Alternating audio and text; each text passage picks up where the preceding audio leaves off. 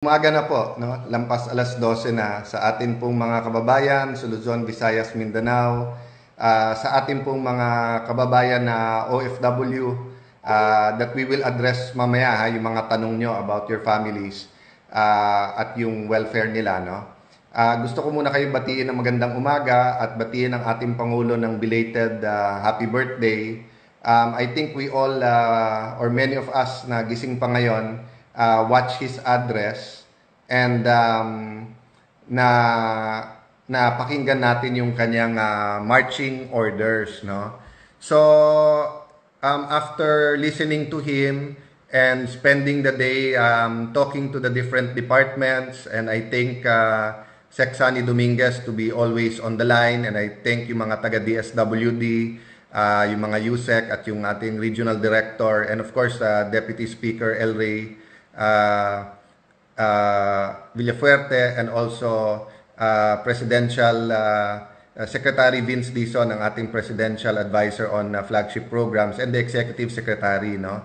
So, in-expect ko na bukas uh, makikwento ko sa inyo yung uh, written part ng report, 'di ba? So meron na yung uh, live broadcast, yung uh, report ng ating pangulo uh, and uh, he gave very clear marching orders pero dun sa specifics, allow me to talk about some of that tonight uh, and allow me to address also yung uh, yung feeling ko as a legislator uh, sa mga kasamahan natin sa IATF no. So to go straight to the point, uh, sinabi ng pangulo may 200 billion at ito ay para sa 2 months, 5 to 8,000 pesos uh, para sa 18 million Filipino families. So, himayin muna natin isa-isa yon para klaro sa lahat ha. There are more than 24 million Filipino families, no? So, uh, about 109 million Filipinos. So, yung 6.6 million Filipino families nasa formal sector yan. Yan po ang mga may uh, trabaho, SSS, GSIS, may income tax and everything. So there's going to be a different package, especially for small uh, micro, small, medium enterprises kasi more than 90% ng trabahante or ng uh, mga trabaho nasa uh, micro, small, and medium enterprise. So there's going to be a package for that. Yung Bayanihan to Heal as One is for the 18 million Filipinos na makareceive ng 5, 18 million Filipino families na makareceive ng 5 to 8 million um, 5 to 8,000 pesos each, no? Then secondly, the law is was also there to provide for yung mga medical needs, yung mga PPEs, uh, personal uh, protection uh, equipment, protective equipment, at uh, iba pang pangangailangan ng DOH at saka ng mga private hospitals, no? So I'll touch about uh, on that uh, later. But siguro uh, what I did is I looked at yung mga comments dun sa Facebook nung nagsasalita si ating Pangulo. And uh, basically naman, di ba yung suporta ng ating kababayan, kahit hirap na hirap na yung iba, nandiyan pa rin. Pero ang tanong talaga, paano nila makukuha at kailan nila makukuha? Okay. So, ayan po, si Steve. Steve Cayetano, hindi ko lang kung kamagano ko, kailan makukuha, no? Eksakto, tinanong niya. Um, uh, yon si Bong Montonilla, tinatanong niya yung PPEs, uh, uh, bakit wala pa. No? So, I'll go to that later. Let me start out muna with paano makukuha ng ating kababayan. So, we go now to the guidelines that I think is uh, a, a very important part of the report ng Presidente.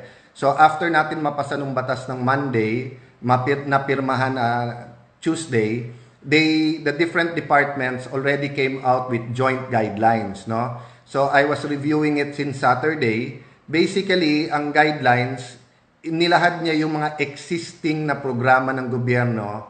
For example sa DOLE they identified TUPAD at saka yung CAMP no? So existing programs to na pwedeng dagdagan ng pondo uh, and then i-adjust ng konti yung guidelines for the present situation Another example is the Department of uh, Agriculture and si Secdar, nagpapasalamat kami sa kanya last week pa, nagpadala na siya ng sulat kung kung ano yung mga priorities at paano makakatulong, no? Um, so Yung pong uh, DSWD naman, meron siyang several programs na existing na.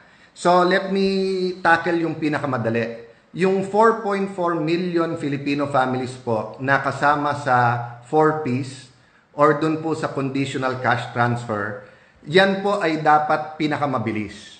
And kung may nakikinig sa DSWD, uh, and of course sa economic team, uh, sa IATF, uh, sana ma-release na kaagad yon kasi nasa gobyerno na ang records na nasa DSWD na yan. So meron na yan traditional way kung paano uh, i-deposit yung pera at paano nila makukuha. So that yun po ang example na binigay po ni Secretary Sani Dominguez nung Monday nung uh, before the, nung Saturday yung meeting namin before the the Monday session nasabi niya yung 4.4 million i-top up na lang or kumbaga sa cellphone mo lo-loadan na lang, 'di ba? Pass a load na lang 'yon. So 4.4 out of the 18 million pwedeng gawin 'yon. Now I was told there's another uh, 4.6 million na identified na as poor, no? So yan ang tinitignan na ng DSWD kung yan ay binibigyan at kasama na sa programa nila. Kung mabibigyan din directly yan, then 9 million na yan kalahati na, no? So, paano yung kalahati pa? And uh, uh, kanina sa DZMM, uh, din, yung isang director po natin sa DSWD, uh, very articulate naman, kunikwento niya, no? But siguro, to, uh, for a little bit more clarity, I think ito yung sinasabi niyang uh, magkakaroon ng social amelioration card, no? E, ito po yung sinasabi niya. Uh, actually po, it's it's actually a form, no? And and I'll go through it with you, but kwento ko muna kung paano to, no? So, basically, itong form na to, okay, uh, na iba-ibang ahensya ang nandyan, no? DILG, um, di, so, tignan ko ha, sandali, ayan. Ayan po ha, so kung makikita nyo po, DSWD, uh, DTI, DA, uh, Presidential Communications ata yan, tapos uh, uh, ah, DBM, no? and then uh, DLG. So yung form po na yan, makikita nyo po yung name, uh, yung head of the family po ang papipirmahan yan. But uh, kung titignan nyo po, no? Um, ayan po, no? So we start with the name. So yung head ng family. But makikita nyo po, meron nakalagay dyan na check-in nila. Are you member of the Unconditional Cash Transfer Program or the 4-Piece Program? Or ikaw po ba isang katutubo? Kung yes, uh, anong grupo? Or others na may programa na yung gobyerno? And then, kasama po sa form yung uh, pangalan ng mga kasama mo sa bahay, anong relasyon, um, uh, and then other information like uh, anong kas anong sex, uh, male or female, tapos petsa ng kapanak, uh, ng uh, yung birthday to po, tapos um, yun, no, kung may trabaho, kung anong sector, etc. No? And then kung may condition sila, para malaman din ng gobyerno kung may sakit. But let me also point down here na may barcode, no? So, okay, so this form, uh, i-print po to sa mga local government units. So, sa mga province, city, or municipality. And then, ang gagawin po dyan, yung barangay, ibabahay-bahay po yan. Lahat ng bahay ay required na bigyan yan. If there are three households in one house, tatlong form dapat ang ibibigay nila. No? And then, yung pinakita ko sa inyo kanina na i-check natin kung nakalagay doon, kung conditional cash transfer, meron ka na, uh, sa ilalim po, Pakita ko po, no? Sa ilalim po, may nakalagay, oh. Um, eto, na dapat ang barangay officials ang magsabi. ba? Diba? Ang nakalagay po dyan, Assistance to Individual in Crisis, programa po ng DSWD yan, dapat sagutan ng opisyal, oo o hindi, no? So, so on this point, kailangan talaga may instructions yung barangay Because uh, let, let's be realistic about it, no? Walang barangay captain na magsasabing huwag bigyan yung lahat ng bahay dun sa sa lugar niya, no? So dapat ma maging clear sa kanila kung ano yung uh, uh, ano yung basis, no? So having said that, uh, pag chinekan na yung conditional cash transfer, uh, ibig sabihin kasi makukuha mo na yan directly dun sa account mo. So hindi ka na dapat bigyan kasi dodoble, no? So ang intention uh, in Metro Manila it's 8,000. So bakit 5 to 8,000? So if if you're from another place sa ating bansa and for example dun sa lugar mo, uh, 25% less ang minimum wage sa inyo. So ibig sabihin po, ang ibibigay sa inyo 25% less than 8,000. So 6,000 ang makukuha mo, no? So yun po ang ibig sabihin po dun sa 5 to 8,000, no? So yung form na to, napaka-importante po na ma-fill-upan ka agad. So, nung isang araw po, nag-post ako, di ba, na ang distribution, sana house to house, uh, sana po, ano, yung COA, uh, picture na lang, cellphone na lang, para wala ng ballpen, wala ng hawakan. So, nakikiusap ako sa lahat ng LGU, although pa pipirma nyo yung form na to, di ba, siguro, uh, pagkabigay, hintayin nyo, but the, the less interaction kasi, and the less surfaces na nahahawakan natin, pinapasa natin, the less risk of infection. But I guess, because nga tama yung sinabi ng ating Pangulo, this is the biggest ever uh, programa ng gobyerno na magbigay ng ganitong amount kasi ngayon lang naman tayo nagka-problema na ganitong uh, kalaki. So, ang problema, kung walang basis din kung sinong bibigyan, uh, unang-una hindi mo bibigyan 100% ng household eh. We're to give 18 million out of 24.4 uh, or 24.6 million Filipino families. Now, kaya ko po tinuro yung barcode kasi uh, yung iba kanina nagtatanong na sa akin if they can print. So, nung nagtanong kami sa DSWD, ibibigay pa daw sa regional director yung barcode for that city or municipality. Uh, I know for a fact that there's an important meeting tomorrow between the DILG, the uh, DSWD, and the Department of Finance.